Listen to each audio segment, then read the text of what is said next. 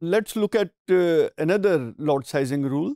Uh, this is periodic order quantity. Again, this is the same one, similar to the one we use in inventory uh, management का जो हमने cover किया था topic तो उसके अंदर भी हमने पीरियोडिक ऑर्डर क्वांटिटी का यूज़ किया था जिसको हमने पीरियड पीरियोडिक रिव्यू के बेसिस के ऊपर यूज़ किया था।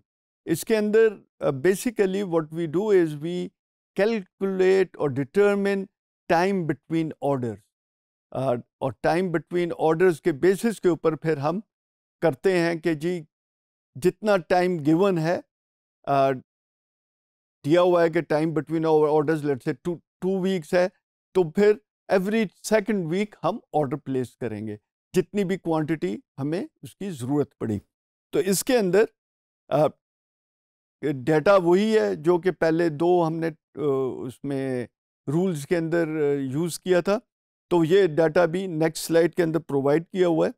और इसके बेसिस के ऊपर अगर हम देखें तो वही टेन वीक्स डिफरेंट रिक्वायरमेंट्स हैं वीकली रिक्वायरमेंट्स और इसके अंदर ऑर्डरिंग कॉस्ट जो है वो three hundred dollars per order है।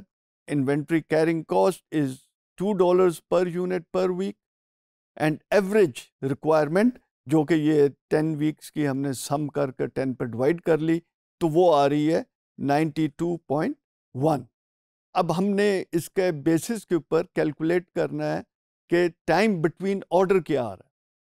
तो टाइम बिटवीन ऑर्डर फाइंड करने के लिए पहले हमने इकोनॉमिक ऑर्डर क्वांटिटी कैलकुलेट करनी है। फिर उसको यूज़ करके हमने टाइम बिटवीन ऑर्डर की तरफ़ हमने जाना है। आ, इसके अंदर इकोनॉमिक ऑर्डर क्वांटिटी जो है वो हमने ई e जो इससे पहले लॉट साइजिंग रूल है वो यूज़ किया था तो उसके अंदर हमने ये कैलकुलेट किया था। तो उस बेसिस के ऊपर 166 यूनिट्स का इकोनॉमिक ऑर्डर क्वांटिटी आया। अब टाइम बिटवीन ऑर्डर जो है वो basically it is the order quantity Q divided by the average demand weekly demand अगर हमने वीकली डिमांड से डिवाइड किया तो इसका मतलब है जो हमारे पास टाइम बिटवीन ऑर्डर आएगा, वो वीक्स में आएगा। तो ये जब हमने किया 166 डिवाइडेड बाय 92.1 तो हमारे पास वैल्यू आ रही है 1.8 अब 1.8 हम यूज़ नहीं कर सकते क्योंकि डाटा वीकली गिवन है रिक्वायरमेंट भी वीकली गिवन है तो we have to round it off to two और टू वीक्स के बेसिस के ऊपर हमने इसको ऑर्डर प्लेस करना है एवरी सेकंड वीक अब उसके बेसिस के ऊपर अगर हम कॉस्ट कैलकुलेट करें तो बेसिकली क्या आ रहा है कि दो वीक की रिक्वायरमेंट फ़र्स्ट वीक में हमने प्लेस की विच इज़ फ़र्स्ट वीक की टेन थी सेकंड की टेन थी तो टोटल ऑर्डर क्वांटिटी ट्वेंटी हमने कर दी। इसी तरह थर्ड और फोर्थ की हमने की कंबाइन करके तो थर्टी फाइव की ऑर्डर कर दी। क्योंकि फोर्थ की ट्वेंटी थी थर्ड की फिफ्टीन थर्टी फाइव हो गई। फिफ्थ में हमने फिर ऑर्डर प्लेस करना था तो फिफ्टी फिफ्थ की थी सिक्स की वन फोर्टी थी तो टोटल वन नाइन्टी के हमने ऑर्डर प्लेस कर दिया। सेवन्थ में फोर फोर्टी सिक्स बनता है नाइन्थ में टू हंड्रेड एंड थर्टी बनता है टू हंड्रेड नाइन्थ वीक की एंड टेन की थर्टी तो ये हमने ऑर्डर प्लेस किया। इसके बेस पे बिगनिंग और एंडिंग इन्वेंट्री जो है, वो बिगनिंग इन्वेंट्री जो ऑर्डर क्वांटिटी ऑर्डर है, वो ट्वेंटी टेन उसमें से कंज्यूम हुआ तो एंडिंग इन्वेंट्री टेन रह गई। यही हमारी सेकंड वीक की बिगनिंग इन्वेंट्री है टेन और एंडिंग इन्वेंट्री ज़ीरो हो गई जब वो टेन यूनिट्स कंज्यूम हो गए। इसी तरह थर्ड वीक के अंदर beginning will be thirty five क्योंकि वो क्वांटिटी ऑर्डर की थी।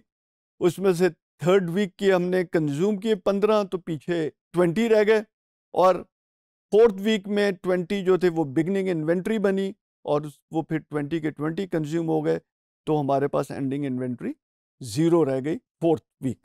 इसी तरह फिफ्थ वीक की 190 and 140 beginning and ending inventory. फिर सिक्स वीक की 140 बिगनिंग थी, कंज्यूम हो गए 140 यूनिट्स तो ज़ीरो हमारी एंडिंग इन्वेंट्री हो गई। तो इसी तरह अगर हम सबका कैलकुलेट करें तो यही one, four forty six seventh week की बन रही है बिगनिंग और उसमें से 216 कंज्यूम हुए तो 230 एंडिंग रह गई और यही 238 वीक के अंदर बिगनिंग है तो वो कंज्यूम होकर ज़ीरो एंडिंग रह जाती है। तो ये हमारे पास टेन वीक्स का डाटा इस तरह जमा हो गया। अब हमने ये अगर देखें तो पाँच ऑर्डर्स हमने प्लेस किए हैं।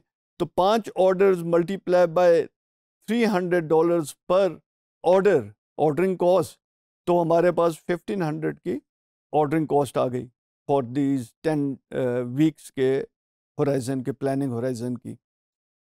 इन्वेंट्री कैरिंग कॉस्ट कैलकुलेट करने के लिए हमने एवरेज इन्वेंट्री करनी है। तो अगेन ये बिगनिंग और एंडिंग इन्वेंट्री इनको हम सम कर लें टोटल तो हमारे पास 1781 यूनिट्स आ रहे हैं, उसको टू पे डिवाइड किया तो एवरेज इन्वेंट्री आ गई जो हमने पूरे टेन वीक्स हमने मेंटेन की है। और टू से डॉलर पर यूनिट पर वीक के हिसाब से मल्टीप्लाई करें तो हमारे पास इन्वेंट्री कैरिंग कॉस्ट इज़ 1781 जबकि टोटल हम इसको सम करें तो 3281 की हमारे पास total cost periodic order quantity में आई।